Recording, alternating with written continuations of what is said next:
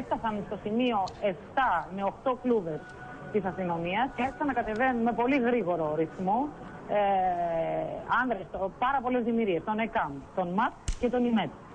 Ε, έφτασαν εδώ, ε, άνοιξαν την πόρτα, δηλαδή έκοψαν την ε, λαμαρίνα που, ε, της πόρτας, ε, της πύλης εδώ του αμαξοστασίου του μετρό στα Σεκόλια, μπήκανε μέσα και απόφυσαν τους εργαζόμενους έξω από την πύλη.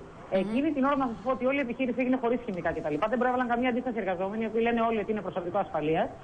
Και ε, όπως ακριβώς είπε και ο κ. Στακό πριν και μαθαίνουμε και εμείς εδώ, η μία από τις τρεις προσαγωγές που έγιναν αφορά έναν εργαζόμενο, ο οποίος ήταν προσωπικό ασφαλείας εδώ. Αυτό καταγγέλουν οι εργαζόμενοι. Ε, από εκείνη την ώρα έχουν παραμείνει τα πράγματα έτσι, δηλαδή είναι έξω από το, το αμαξοστάσιο όλοι και οι εργαζόμενοι και όσοι έχουν έρθει εδώ για να τους συμπαρασταθούν και δημοσιογράφοι και συνεργεία τηλεοπτικά κτλ. Ε, δεν επιτρέπεται είσοδος μέσα. Μάλιστα πριν από λίγο είχαμε και ε, μια αντιπαράθεση πολλών εργαζομένων με τις αστυνομικές της επικεφαλής των αστυνομικών δυνάμεων εδώ. Γιατί λένε ότι η βάρδια τους έχει λήξει από τις 6 το πρωί, ζητούν να μπουν μέσα, να πάρουν τα πράγματά τους για να μπορέσουν να φύγουν και δεν τους επιτρέπουν.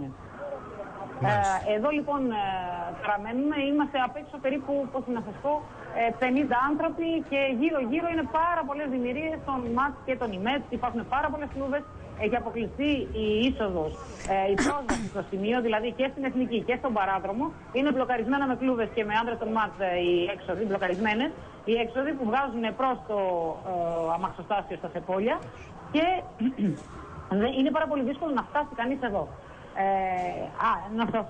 ε, Μίλησες, εξηγήσω. εγώ θέλω να ρωτήσω κάτι μόνο, Βρετζούλ. Ναι, ναι, Μίλησες ναι, με ακούω. κάποιον επικεφαλής αστυνομίας να μας πει το λόγο της αστυνομικής επέμβασης. Δηλαδή, έγινε για να τι, να ανοίξει ο χώρος, ωραία, άνοιξε και.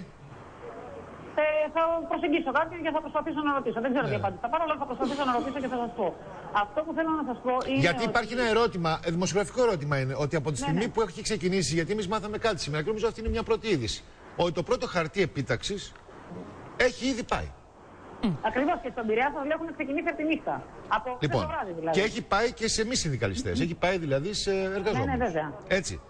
Αυτό Αυτό που σημαίνει γνωρίζω λοιπόν. εγώ για τα χαρτιά αυτά, για τα φύλλα πορείας, είναι ότι από την ώρα που θα φτάσει στα χέρια του εργαζόμενου, έχει ένα 24ωρο προθεσμία για να πάει στη δουλειά του. Έτσι τουλάχιστον ξέρω, κρατάω μια μικρή επιφύλαξη, αλλά αυτό γνωρίζω και μιλώντας χθες με ε,